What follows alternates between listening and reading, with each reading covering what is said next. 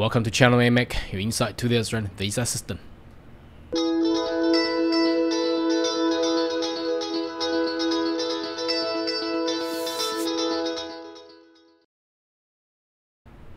Good day everyone, my name is Carl Young, your online YouTube visa consultant. Are you interested to migrate to Australia? Why don't you consider to subscribe to my channel and turn on the bell on the side so once by all the updates and news, you'll be the first one getting all the insight. Now, today's video, I would like to introduce uh, a so-called workplace justice visa, uh, which is pretty rare. Uh, it's probably one of the kind ever in the uh, history of mankind because uh, usually the immigration of any countries or jurisdictions uh, will only uh, legislate a law or visa to allow people to enter in Australia or any country of their their department. however, no one has ever thought to legislate a visa just for the justice and fairness for the work workers out there. I think this is a, a breakthrough and it's actually a very, very good approach uh, towards bringing the balance and fairness and justice, obviously, uh, between the employer and the employee. Uh, and um, I, I didn't expect this. I thought uh, Australian government will only um, having some sort of policy to, you know, enforce upon employer to comply. if they don't comply, uh, there has way for them to actually, uh, you know, penalize or, or, you know, sometimes conviction if they done things really seriously. Uh, however, uh, because employer are usually Australian citizen or they have a status in Australia, so they could have used some sort of tactic uh, to prolong any type of civil process that the workers out the employee or the complainants ultimately has uh, the visa expire and they need to leave Australia. That that makes the employee more vulnerable uh, in a disadvantaged status. So Australia has actually introduced this law. I think it's it's pretty good. It's actually um, protect the employee uh, much better, and and this for short term, I think. Uh, it will have some sort of imbalance in between employees and employees. Some employee will then go, "Oh, damn! I don't want to do this anymore. I don't want to sponsor anyone anymore." But for mid midterm and long term, I think it's good for the nation of Australia, and it's again it's the first of the, its kind uh, globally and I think this is a very good demonstration to, to just bring fairness and justice uh, between employee and employee. So bring that balance back there. Okay, now this uh, it's actually they did not put too much uh, attentions on promoting this, but on 1st July, that's last uh, last week, uh, there has been a, a, a additional web page talking about migrant worker protections. So on the 1st July, there is so-called the workplace justice uh, visa and that will be putting upon subclass 408 which has already been inserted it's just allowing the the uh, the, the disadvantaged employee well sometimes may not be. There can be, uh, you know, uh, buyers complain. They, they, I, am just saying there could be something arguable. But between this period of time that the employee wanted to bring balance uh, and fairness uh, towards the employer, uh, there is actual visa category for the employee now. So uh, as we read on, it says uh, reduce temporary migrants ex exploitation, increase employer compliance. There are three new work-related offenses to make illegal for employers. So what are these three? Uh, coerce and pressure temporary visa holder breach work visa conditions. So what would that be? That that would usually be, you know, if you don't work now, I will fire you. Okay, if you don't overwork, if you don't work uh, on the weekend for, and I'm not not gonna do a double pay for you, then I'm gonna fire you. I'm gonna dismiss you. So that's uh, coerce or pressure, uh, or, or, sometimes goes beyond. You know, if it's gonna be torture, become a modern slavery. Okay, coerce and pressure non-citizen without valid visa to accept and agree work-related arrangement. For example, uh, we have seen uh, some you know back group of people. Uh, they utilize student visa, come to work over and over and work in an unrelated industry. For example, some uh, you know dark area. I'm, I'm just saying that dark area. You probably can uh, un understand uh, what sort of industry that will be. So that will be, uh, and usually it's uh, unlawful in the in in the way.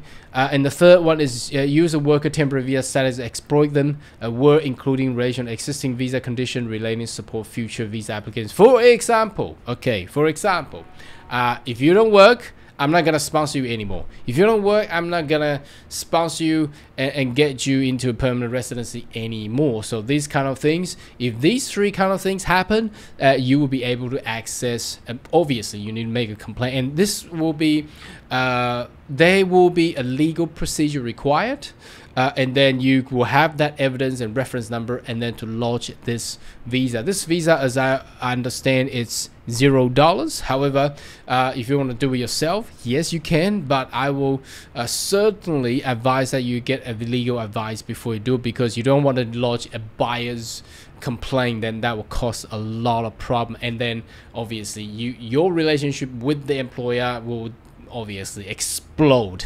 Okay, uh, the law covers a range of work-related situations, so uh, underpaying, pressure, pressuring worker to work in over hours, uh, threatening to cancel migration, uh, migrants' uh, visa, coerce a migrant to hand over their passport. Well, I never seen this. This is going crazy beyond. Uh, coerce the migrant worker to engage unwanted sexual acts. uh, and that's where I'm calling uh, in, uh, name the dark area. Okay, pressuring migrant worker to accept inadequate living conditions. So these are the things that uh, you need, you might want to be aware of. So I'm doing this video just for the sake to get everybody understand. Now let's let me turn you into the actual piece of legislation and the law. So this is already there. As you can see, this uh, LEGENDcom is uh, um, immigration law dictionary that we can access with. So I can tell you it's under uh, subclass 40, uh, 408 with the insertion of 228 a. So this new clause there with the uh, title reads workplace justice. So uh, if you can see here, they have two uh, items one and two. It basically says that uh, uh, the applicant, which is gonna be the complainant and the visa applicant seeking for this 408 visa, I, I, I don't, I do not recommend people to abuse to use this visa again to threaten your employer, then that would be something wrong as, as well. So uh, the applicant to remain Australia to undertake work justice activity.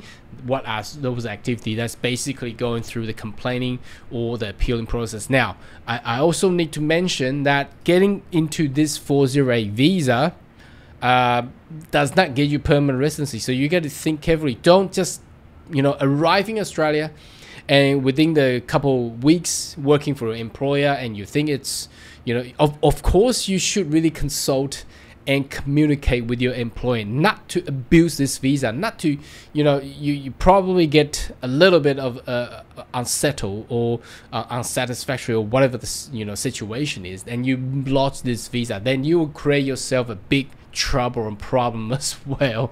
So there's a class of person, uh, and these class of person I will explain, and it's already told in this web page here already. And the uh, the purpose of this visa is to undertake the workplace. So they are complainant victim, or they are in the uh, of a criminal proceeding. So uh, employer made conduct some criminal i mean very very bad i haven't seen this a very very bad employer uh, for example people trafficking uh, you know sexual abuse and things like that.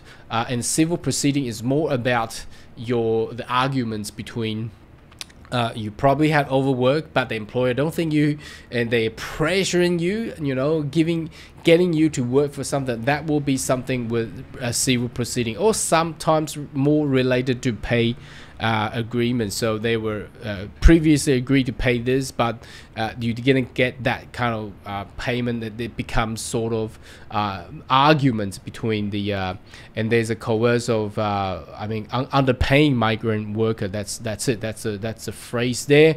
and complaining about the complaint relating to matter referring to item 3A. So what are those items? So the items will usually be, first of all, uh, they will be required to, if there's going to be a, a, criminal proceeding, they, I mean, the wording is very tiny, but I'm going to read it out. To, so first one is a certificate of issue relating to applicant uh, by a person or body of government determining instrument made under 5 B. So 5B is usually uh, some sort of, uh, uh, let's have a look, a person related and the kind of related workplace exploitation. So it's you know something illegal you know and, and it, it, may be uh, issued by the border force or issued by a police issued by a, a local government something like that okay and, and, and B is the service of state matter relating workplace exploitations. So they will be coming from per, perhaps coming from a fair work ombudsman. So uh, you have logic complaint and fair work has determined that the, the work status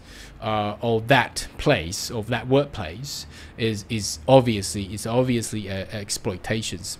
Or C the certificate that has been uh, has not been revoked or set aside. So uh, they may be uh, a process of complaints, uh, but the the uh, the severe issue basically saying the the complaint assessment or analysis is still continuing. It's not finished yet. Then you can actually ex- I think that's used to extend your 408 visa because seems to be 408 visa is only a short term. It's not gonna be getting you a one year, two year. It's only a I think couple of months. Uh, for further, uh, applicant satisfy uh, uh, the criterion on basis on clause 408.228 workplace justice and applicant made uh, claims to be a member of so they can actually accompany uh, with the member of uh, family unit. So if you come as a family all together with a visa together for example 482 visa and then obviously you can do this one. So who can actually access to this visa? Uh, it can be for example uh, student visa applicants. So because uh, as long as you have the work uh, permit, okay, you you have the permission to work, okay, uh, and the 4 417 working holiday visa holder, uh, obviously 482 visa holder, and some of the 408 and 407 visa holders. However, would this creation of visa category create a class of abusive conducts or a lot of visa applicant?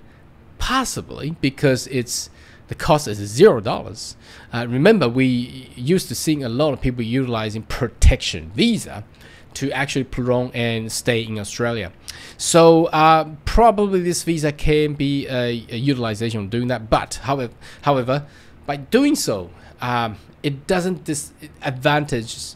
Uh, doesn't bring you any advantage at all. So it's uh, again, it's a it's a protection visa just to protect the worker exploitations or any kind of activity that you have actually experienced uh, within the explanation of this web page here and then you can actually access to this visa now. Anyway should you have more question query more than welcome to leave comment right down below and i'll see you next video. Goodbye